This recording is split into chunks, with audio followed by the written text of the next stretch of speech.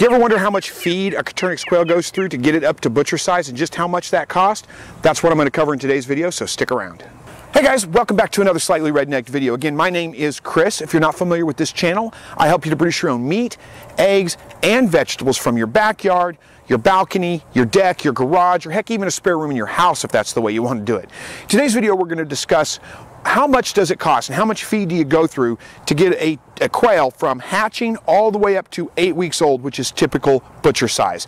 And I've got uh, my latest grow out pen right here with about I think there's 37 birds in there right now. They're starting to get a little crowded. I'm going to do some separating out today. But these guys are right at six weeks old. And I've been keeping a very close eye on just how much feed they're going through on a daily basis. And as you can imagine, at first they don't go through much food at all. And then as they grow, they start going through more and more and more and more food.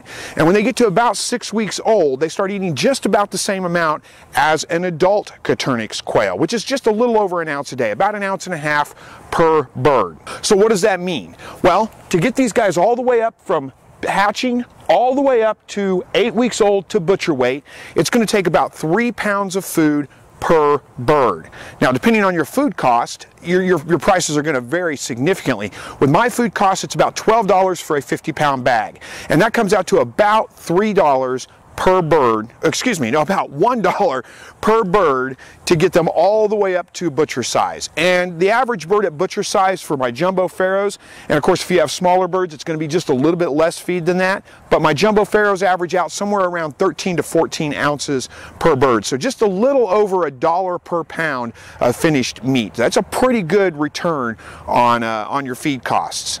Let's take you a little bit closer. We'll show you the grow outs right now, what they look like at six weeks old. All right, so like I said, this grow out pen's just getting a little bit crowded right now. And you can see some of these birds are pretty good size for six weeks old birds. They look like full grown Coturnix quail already, but they've still got about two or three weeks before they're gonna hit full grown. Gonna get significantly bigger than this. Um, one thing I will say about your feed costs is it is going to vary significantly depending on what kind of feeder you have, how much feed they waste. These feeders have worked very well for me. It's just a glide container with some holes cut in the sides and I fill it up to about right there. It holds about 40 ounces of feed. I fill it up once a day for these guys and uh, it, it, really eliminates the feed waste. Now if you don't have this style of feeder um, and they waste a lot more food, of course your costs are going to go up. All right, so it takes about three pounds of food to get one bird up to butcher size. Now, if you're keeping breeders and you want to keep them past butcher size, how much feed does it take at that point? What I find is that my adult birds eat, like I said, a little over an ounce, about an ounce and a half of feed per day. So really that comes out to about 25 cents a week, something like that, to keep them fed. If you're looking at a $12 per 50 pound bag of feed, you're going to have to do the math on your own, depending on what your feed costs are.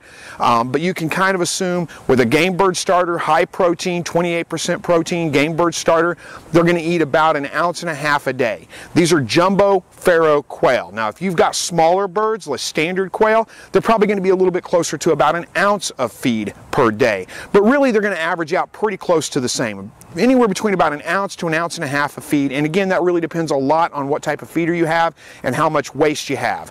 But as far as eating, minimal waste, about an ounce and a half a day is what you can expect to feed your birds. All right, guys, I know this was a uh, requested video. Lots of people had questions about that. Leave me a comment below and let me know if you find something different with your birds or if your numbers kind of line up the same with mine. Thank you guys so much for watching this video. Hopefully I got some things cleared up for you. And uh, as always, God bless.